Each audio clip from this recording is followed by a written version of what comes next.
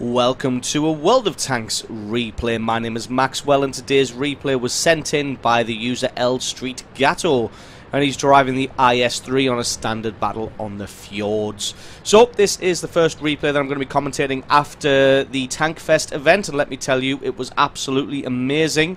I don't want to talk too much about Tank Fest in this replay just because I'm going to have a slew of content coming out for that hopefully anyway. First day that I was there, I was a little bit overwhelmed and just completely derped and forgot to really take any photographs or much footage at all. Most of the time was spent wandering around, talking to people, uh, signing things, shaking hands, and uh, receiving gifts. So, yeah, first day kind of just derped out a little bit and forgot to do anything. But the second day, I got plenty of uh, plenty of videos and photographs. So, hopefully, going to have a bit of content coming out for that. You may have seen on the channel that we had a Q&A session with the CEO of Wargaming, Victor. Very, very funny man, very insightful. If you want to know about the future of World of Tanks, it may be a good idea to watch that because he gave some good insights. He also gave some great answers to some other questions about the game and Wargaming in general. So things all the way from uh, World of Warplanes about why it hasn't really worked out so well and possible future plans for different game modes in World of Tanks. If you want to get a sneak preview of that, I would definitely go and check out that video and have a watch of it. So, yeah, I think that's about about all I'm going to talk about Tank Fest for now, because like I said, there are going to be videos coming out for it. I just want to talk about this replay for a little while. So, L Street decided to head down the bottom, and on the fjords, that's pretty much par for the course. The heavy tanks come to the bottom here, they use their superior armor to try and soak up the damage of the enemy while dishing out damage. Going to try and break through the other person's lines and then advance forward.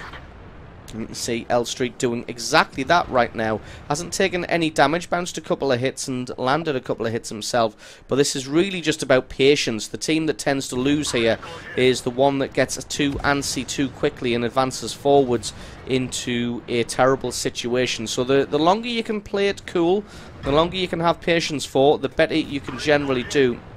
L Street made a little bit of a mistake there, backing out a little bit too early. Possibly thought that the enemy tank was going to hang around for a little bit longer than he was. Unfortunately, as you saw, he backed off as soon as he fired, and L Street's gun wasn't quite ready.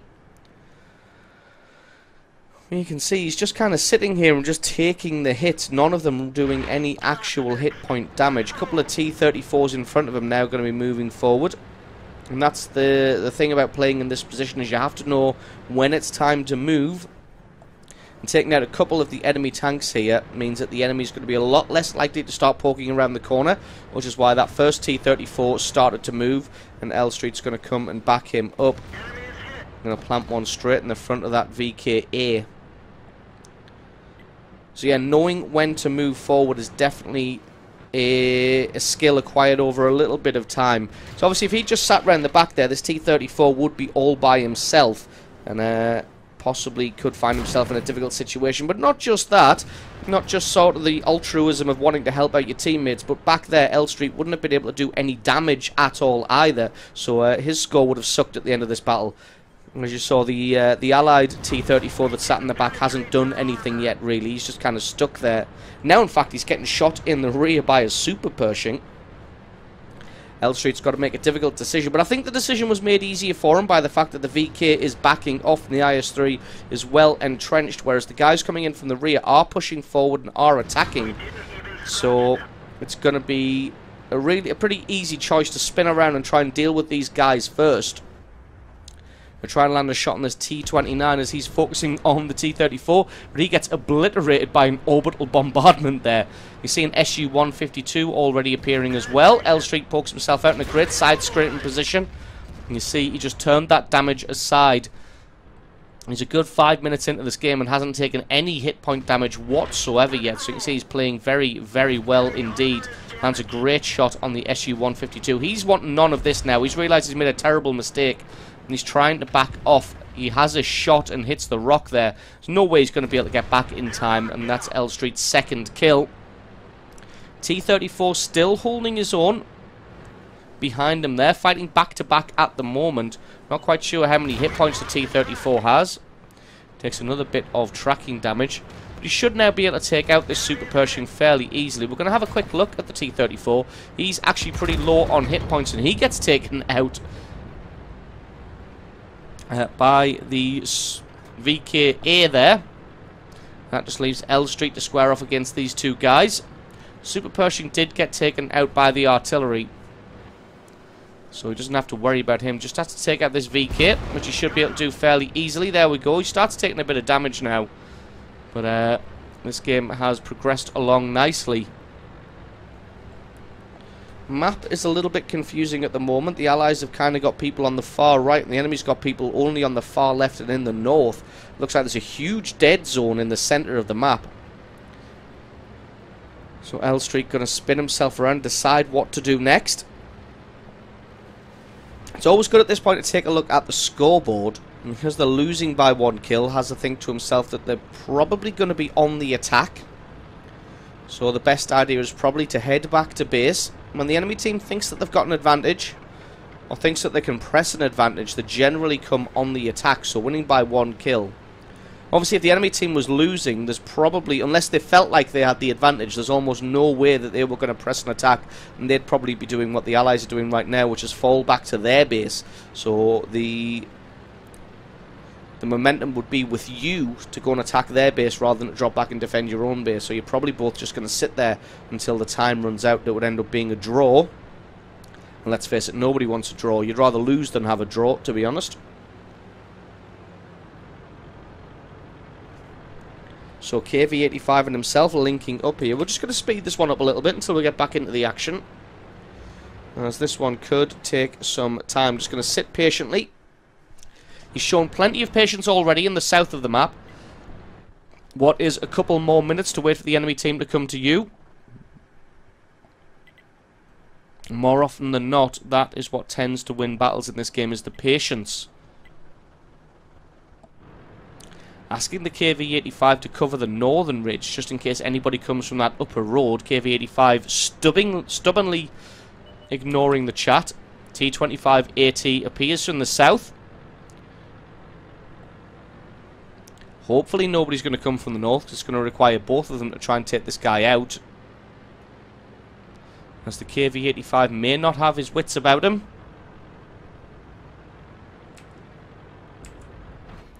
Again, just going to set up patiently. But it looks like everybody's coming through the south here.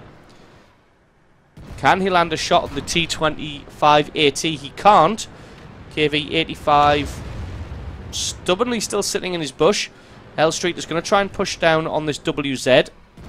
Lands a great shot through his side to take his track out, but he's quick on the repair. Doesn't want to push around the corner because there's no point square facing off against two guns when you can only face off against one. If there's a choice, one is better than two.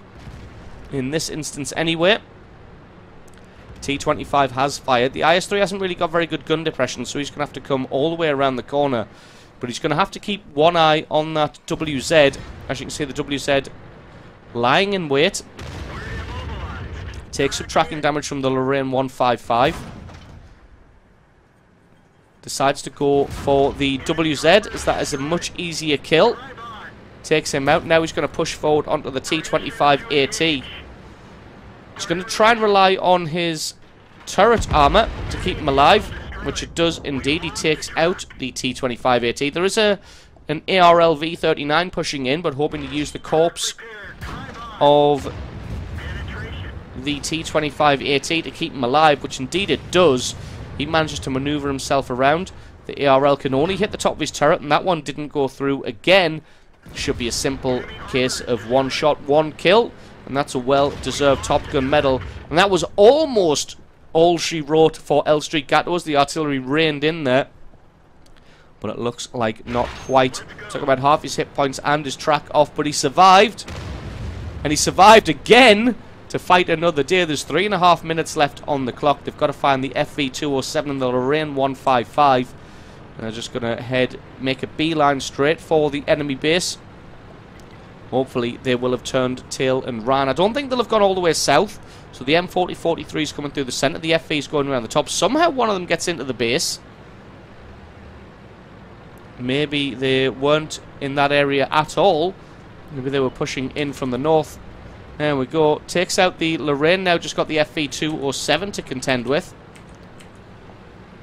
Hopefully he's going to be in and around the cap circle. If he's not, hopefully the two of them will have enough time to complete the base capture. Moving in now on the base. 1 minute and 15 on the clock. It will require both of them to complete the base capture if he's not here, but he is here. You see him in the distance there. He's almost certainly reloaded, taking his time to let that one close in, but L Street Gato gets him first, and that is kill number seven and a well deserved victory. So awesome game played there by L Street Gato, picking himself up seven kills, four and a half thousand points of damage, and really doing his job as a heavy tank in the south there before coming back to mop up the rest of the enemy team. So awesome game from you. Thank you very much for sending that one in. Don't forget, guys, if you've got yourself a great replay, then send that into replay at screenreality.com. The link for that's in the description. Just attach the replay file itself or the link to the WoT Replay website to the email and I can check that one out for you. And don't forget, if you enjoyed this video, you found it useful, informative, you learned something, or you just thought it was fun, think about hitting that subscribe button, because there's a lot more World of Tanks content on this channel. I've been Maxwell, this bit of World of Tanks replay, and I'll catch you guys next time.